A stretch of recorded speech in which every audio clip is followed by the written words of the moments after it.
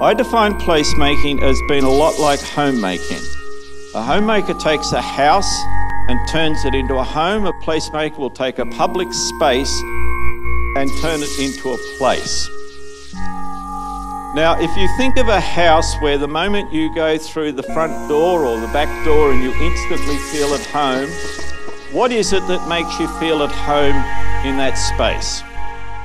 You've got to, as a town, invest in trust, invest in your generosity, and it will be remarkable what becomes of your town.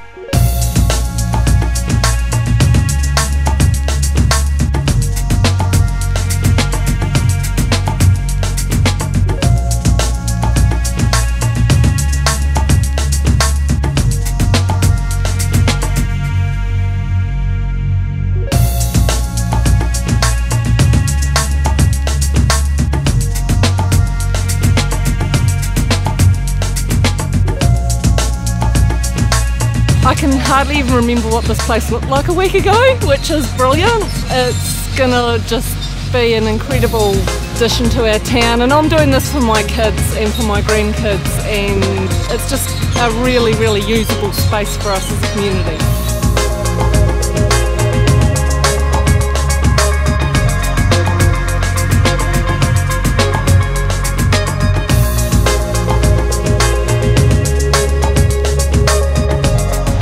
Beyond my wildest dreams really that what we've what we've achieved together.